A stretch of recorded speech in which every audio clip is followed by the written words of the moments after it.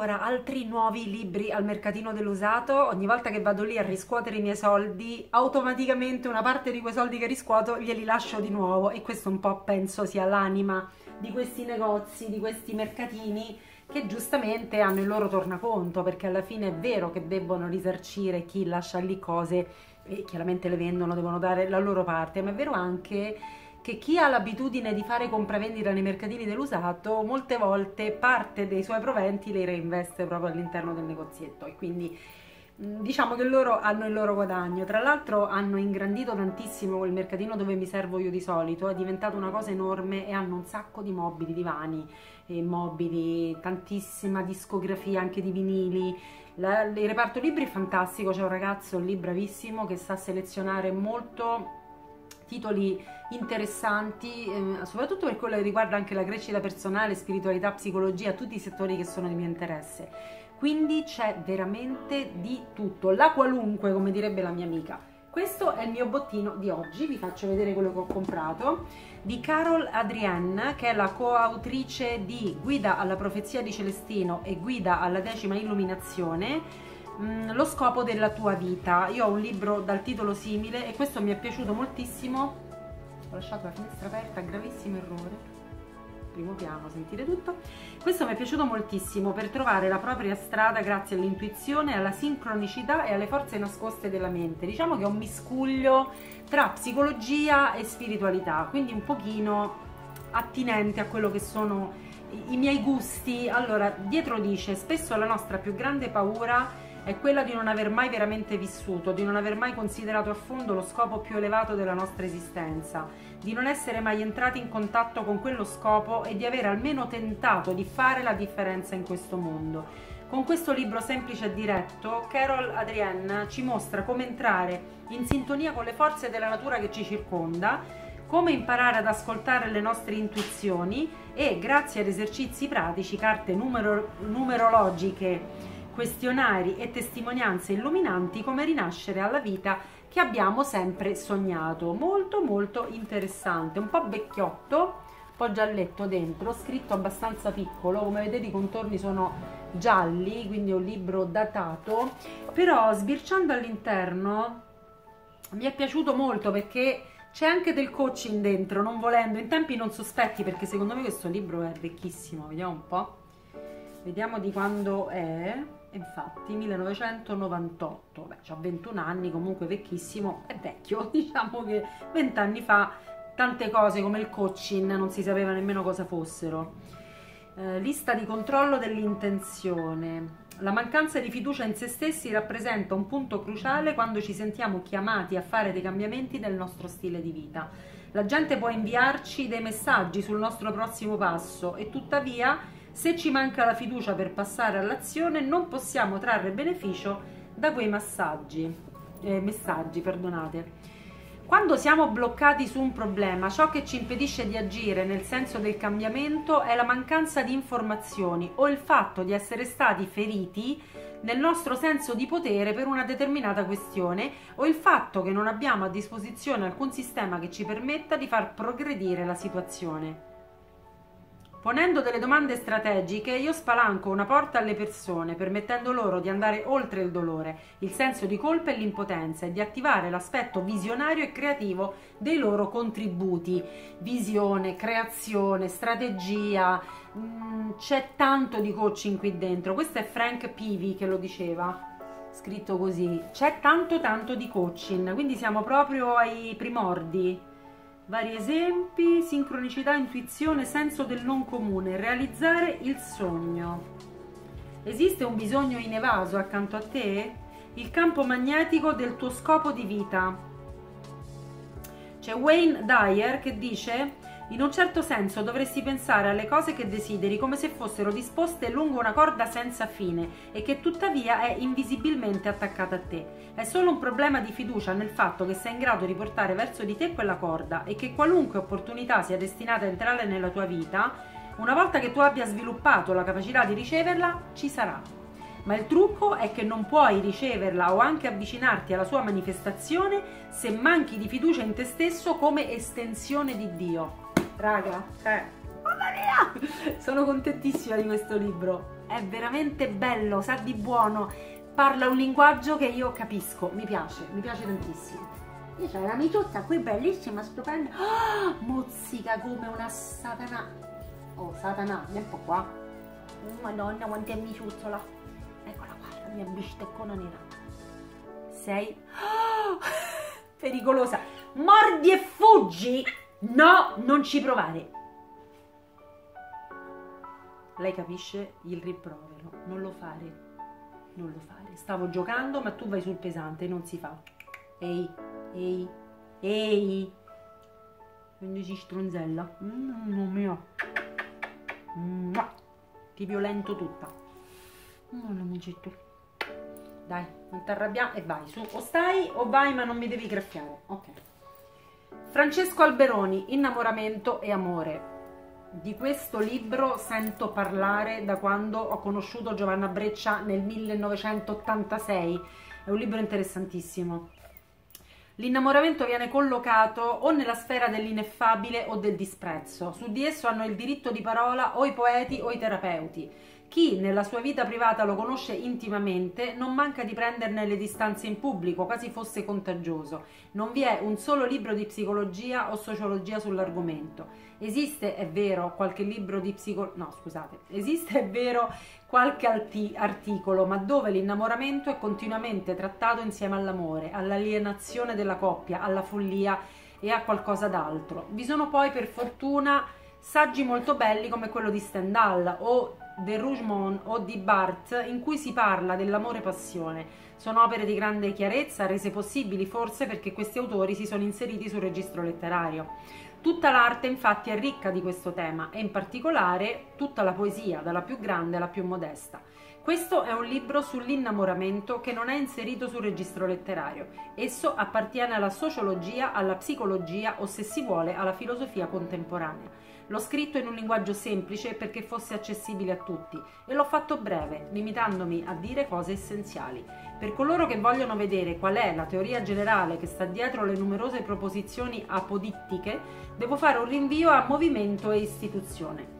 Il libro sull'innamoramento infatti avrebbe potuto essere un paragrafo di quello, ma poiché l'innamoramento è sperimentato direttamente e completamente da tutti, cosa che non capita negli altri movimenti collettivi, ho preferito svilupparlo eh, qui più estesamente ed in modo più piano.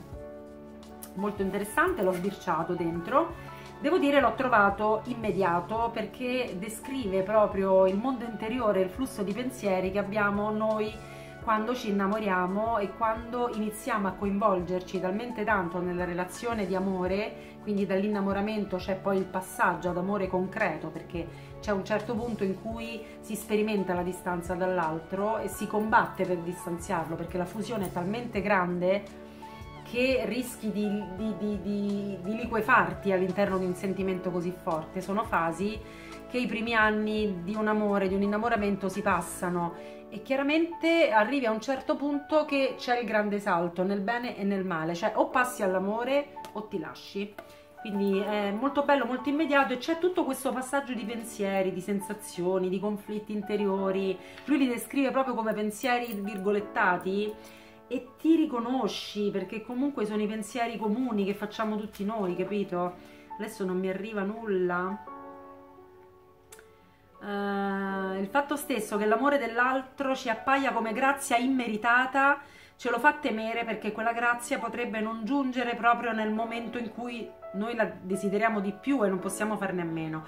Noi perciò vogliamo fare a meno di quella grazia oppure cerchiamo di trasformarla in certezza, certezza di reciprocità.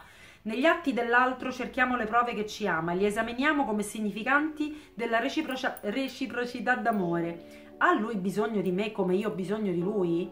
Il comportamento dell'altro viene decifrato in questa luce per conoscere ciò che è e ciò che sarà. Prima che sulle margherite il mamma non mamma è cercato nei comportamenti dell'altro. Se fa così vuol dire che, se non fa così vuol dire che. Dalle cose più semplici, come se arriva in anticipo in ritardo, dal fatto che guardi o non guardi un'altra persona, ma il significato non è mai limpido. Può arrivare in ritardo trafelato e allora questo cosa significa? Che si era dimenticato di me oppure che ha fatto fatica ad arrivare da me e perciò il suo ritardo è una prova d'amore? Eh, quindi è immediatissimo, è molto molto interessante, lo leggerò con piacere perché è un saggio piccolo, quindi leggibilissimo. Poi Brian Weiss.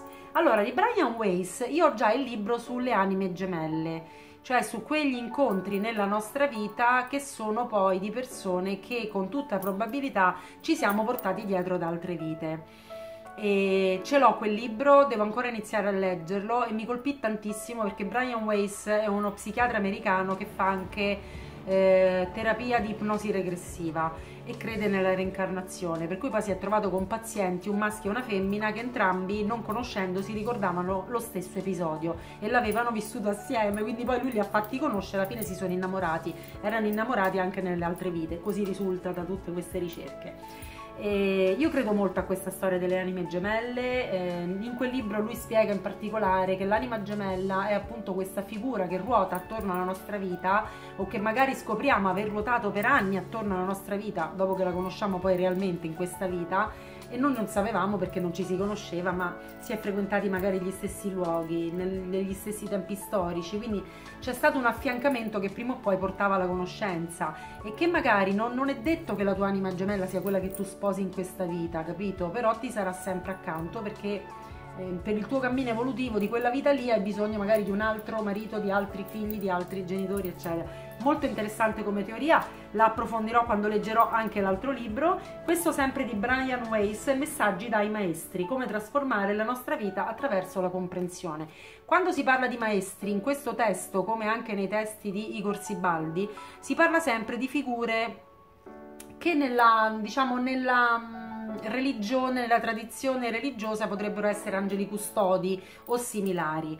Nel caso di questi studiosi normalmente si parla di guide invisibili, di eh, superio, di mh, figure superiori a noi che sono un po' il nostro io supremo, non so se mi capite e che potrebbero spiegare fenomeni particolari come eh, la maniera in cui in maniera del tutto in, inspiegabile gli egizi antichi hanno creato le piramidi che tutt'oggi rimangono un mistero ma nascondono una sapienza di tipo superiore che non è per l'uomo di quei tempi, no? Quindi vabbè, tutte ste robe qui misteriose a me piacciono. Vi leggo un trafiletto dietro, lui è Brian Weiss. Dietro dice L'amore è il motore dell'universo e la più potente energia di guarigione. Per Brian Weiss è un sentimento che trascende i limiti del mondo fisico e non si esaurisce con la vita terrena, perché noi siamo anime immortali, destinati a incarnarci più volte nel corso della storia. Con la tecnica della terapia regressiva il dottor Weiss ci spiega come riportare alla mente memorie delle nostre vite precedenti, i cui eventi cruciali continuano ad influenzare la nostra realtà quotidiana. Attraverso i ricordi dei suoi pazienti, l'autore ci offre un'occasione unica per esplorare il mondo dopo la morte e apprendere gli insegnamenti dei maestri, spiriti guida altamente evoluti che non hanno una forma fisica. E tra l'altro mi è piaciuto molto questo libro perché... Ehm, che fai amorina? Gli prude l'orecchio da morire. Ehm, lui dentro praticamente riporta proprio i dialoghi con le persone che stanno in terapia da lui, quindi quando fanno ipnosi regressiva lui riporta proprio i dialoghi virgolettati eh, delle domande, risposte varie. Qui dentro c'era pure un biglietto di auguri di una moglie a un marito. Eh, in romano, fighissimo per chi non è romana, dice te volevo fare un regalo speciale ma dopo una mattinata a mezzo al traffico, tre ore a cercare un posto, ho litigato pure col parcheggiatore. cioè io scopro delle cose meravigliose. Non ho avuto il tempo di fatelo, mi dispiace una cifra. Poi dentro c'è il messaggio a penna. Eh, non è vero, il regalo te l'abbiamo fatto e anche con tanto amore. Ti adoro, sei la mia vita, ti amo tantissimo Franci. E poi sotto c'è una riga, papà, tu sei il papà più bravo e sei tanto socievole, con la, senza la I, la tua figlia Nicole, la tua moglie Franci no troppo carini. Questo lo conservo qui dentro perché è un cimelio che non mi appartiene ma mi piace. Poi Raymond Moody Jr. La luce oltre la vita. Questo è un altro testo di quelli che a me piacciono tantissimo che parla appunto di esperienze di premorte. Vi leggo il trafilettino. Le testimonianze di quanti si sono trovati sulla soglia di una vita luminosa che si apre dopo la transitoria esperienza della morte una risposta di speranza agli interrogativi ultimi che l'uomo da sempre si pone.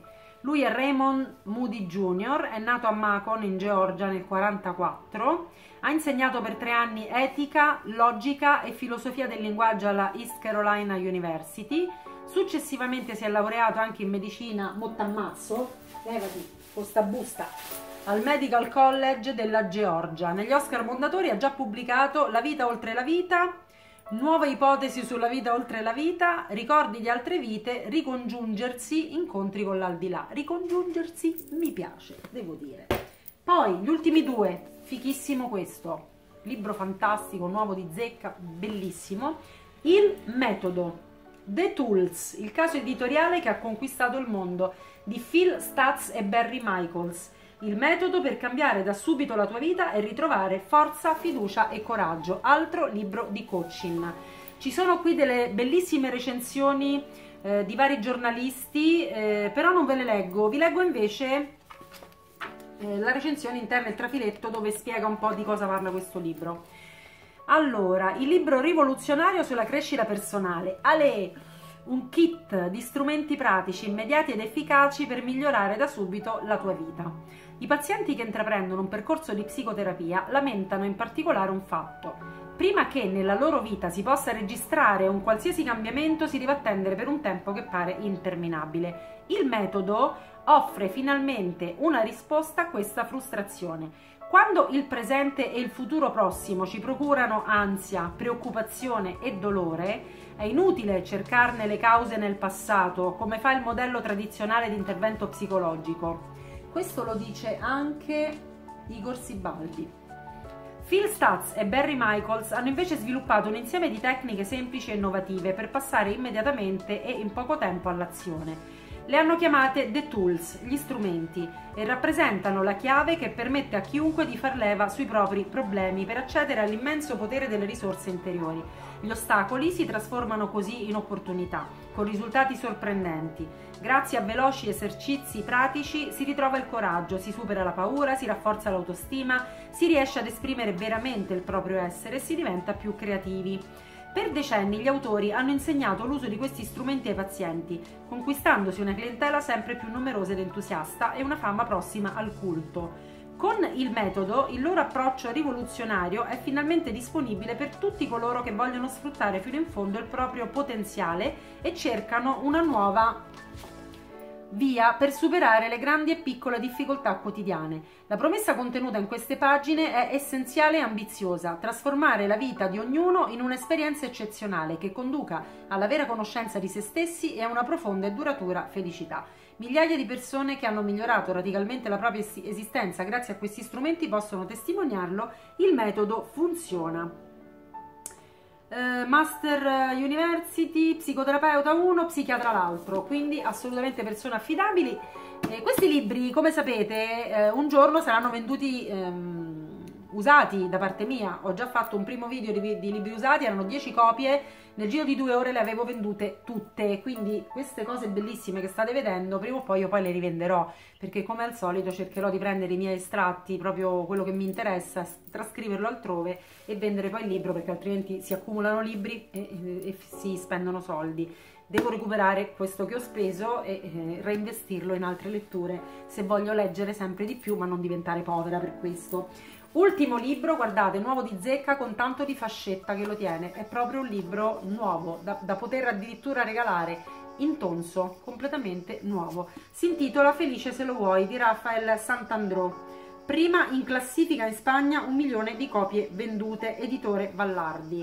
Vi leggo il dietro, il retro, perché questo poteva essere, poteva sembrare uno dei soliti libri di narrativa da sotto l'ombrellone, romanzello, eccetera. In realtà non è così anche questo è un libro di crescita personale e coaching, quindi bellissimo come si presenta sinceramente. Vediamo com'è all'interno. Azzurrino, Tiffany, bellissimo, copertina dura. Allora vi leggo dietro cosa dice. Rafael Sant'Andrò è il nuovo punto di riferimento del self-help internazionale. Lo psicologo sto litigando, che ha insegnato la felicità a milioni di lettori. Grande critico di alcuni successi del recente passato, uno su tutti The Secret di Rhonda Byrne, ha reinventato la psicologia per il grande pubblico, imponendo i concetti di terribilite e necessitite.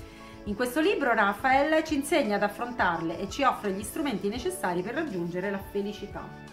Wired ha recensito dicendo fra i tantissimi i manuali di psicologia spicca il libro di Sant'Andrò che ha avuto un grandissimo successo. Sant'Andrò ha un linguaggio amabile e sincero che arriva dritto al cuore. Il suo punto di forza racconta storie coinvolgenti ed esemplari che ci parlano di un determinato problema e del suo superamento, dai complessi di inferiorità alla gelosia, dalla rabbia alla paura della morte.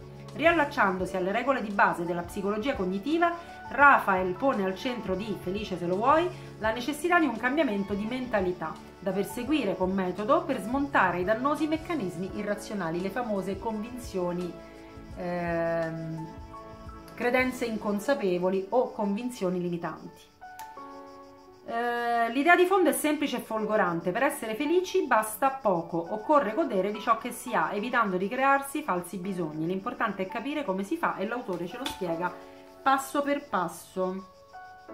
Oh, mi piace! Lui si è formato come psicologo alla scuola di Giorgio Nardone, ragazzi, Palo Alto, fantastico, nel centro di terapia strategica di Arezzo.